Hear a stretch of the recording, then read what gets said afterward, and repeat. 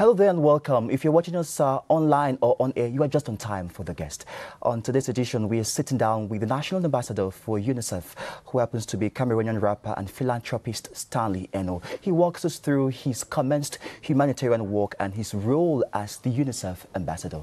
Hello, Stanley. Good having you. how you doing, sir? Good. Now, tell me, what does this mean to you, being a UNICEF ambassador since uh, the month of August? I mean, um, it means a lot. I mean, it's um, it's we're very thankful, but I mean it comes with with a very heavy weight as well because I mean it's it's um, it's a huge task and mission, you know. But I mean it's super beautiful because heavy is not in the terms of the weight, but it's in terms of the beauty, the beauty and the magnitude. You know, I mean to be able to work for kids, and you know if you're working for kids, then you're building a nation. You are celebrated uh, in most parts of the world basically for your music style, and other people too have come to laud sometimes your passion and your concern for humanity. What will you be doing as a UNICEF ambassador? Let's peep into this new facet of Stanley Enow. I'll be sleeping in my house all day. but yeah, I mean, as a UNICEF ambassador, it's um, you know, it's a lot of advocacy. You know. Um, building and creating projects to make sure that the Cameroonian and the African youth in general has a proper um, uh, access to health and education because that's my prior, prior concern is a very big concern for me even um, without being uh, even out of UNICEF as I've been um, been doing a lot of philanthropy and uh, you know uh, we just have to make sure that we come with an organization that has leverage and has uh, more cases or has um, a platform where we can also come in and chip in and help and you know it's uh, it's beautiful.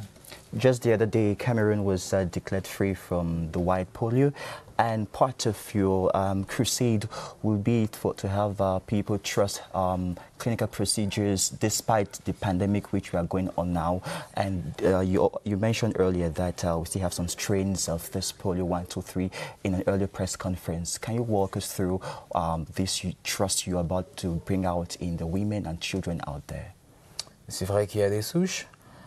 Like you said, there's some strains, and um, um, you know, um, poliovirus is is a very is a is a deadly disease because for me, not only can it kill, but it can paralyze kids and make them not to speak and talk properly. So killing their dreams even from very when you know from a very young age, killing their mama's dreams as well because you know uh, if a mom doesn't really sleep, you know if your mom doesn't sleep because the child can't sleep, then herself she can't even be effective, you know what I mean, in the society, then, you know, we make sure that, you know, with UNICEF, we have to, uh, we are sensitizing all the mothers out there so that they may take their kids, you know, um, from zero to 59 months to go and have them immunized so that they can be poliovirus free, you know, is, is, uh, is a disease that is quite deadly, like I just said. And, uh, yeah, man, there's still um, um, a couple of strains, but I think that together,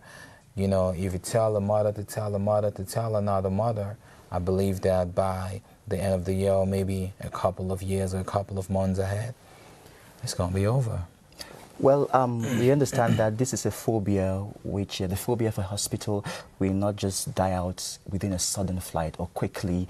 What strategies have you earmarked to ensure that people uh, trust health facilities, knowing that should they go there, they won't contract uh, the pandemic?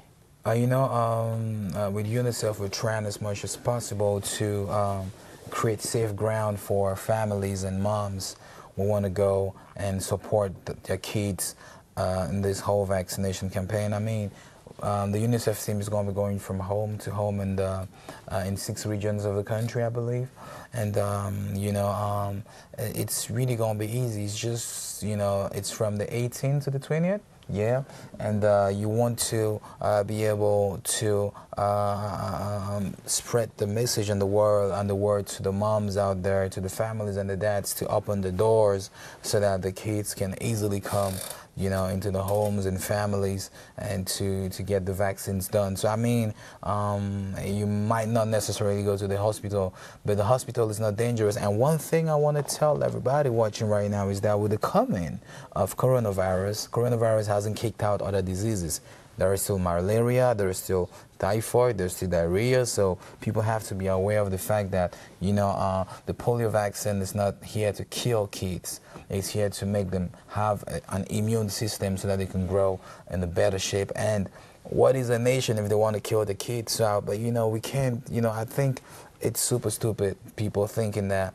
Um, vaccines are, uh, especially against polio, is to exterminate the new generation. I mean, we can't, you know, we, we, we, we owe it a duty. I myself, as a, as a, as a positive and a reasoning human being, you know, I, I can't join uh, causes that is going to eradicate my people. Instead, I want to see my people grow strong and strong every day. So I think that uh, all the moms watching, all the families watching should be aware that these vaccines, the vaccine them no, no, not for killing our picking and for make sure say, uh, me when I begin and grow fine because if begin grow we get polio, then I die. Food not the worker, hand not the worker, you know if you talk. You understand what I mean? Say, you know. So um me mommy them, me papa them join um, uh, UNICEF via my voice for make sure say me that picking and be okay. Because if picking and not be okay, then we not get country. Yeah. And just before you, you go, uh, Stanley, it's difficult to separate Stanley, the artist, Stanley, uh, the um, Goodwill ambassador. But what's up with you? Um, what's the latest in terms of your musical career? What's up? The sky. yeah, I mean, you know, the sky is blue, and um, uh, we're dropping an EP very soon. We're dropping a couple of wild singles, and uh, we're trying to make sure that we sleep a lot in the forest to make sure that we have all those the right djembes, the right tam tams, and the right drums, so that when we drop, it goes viral. I mean, it's beautiful music and it's more, uh, as usual, friendly content so that people may be super happy and super inspired. I think the African youth right now needs positive messages more than ever because we are at, you know, we are at the level or at a kind of um, uh, a moment where it's either we, we're taking a turn. It's either we fail or either we go on the right track. You know what I mean? So I think right now, as an artist, as a leader, I have to try as much as possible to uh, keep feeding my people with cute content. And I just want to use this opportunity to be to give a, a big shout out to my team. I think it's the best that Cameroon has ever seen so far with an artist. And uh, you know, it's um, we just have to keep going. And you know, ready your ears, man. If your ears are not ready, man, go and buy Coton Tige, go and buy, you know, because, you know, we're giving you some mad ass music soon, boy. Stanley Enow, the National Ambassador for the United Nations International Children's Emergency Fund. Thanks for being our guest. Oh man, I thank you so much for inviting me. And God bless you, TV News and everybody behind the cameras. I see them behind the machines and everything, the beautiful new generation of all journalists that I see. I see them, they're so, they're so beautiful, and I can't wait for a beautiful and uh, better Cameroon. Thank you. And let's sit down again another time. Our programs continue.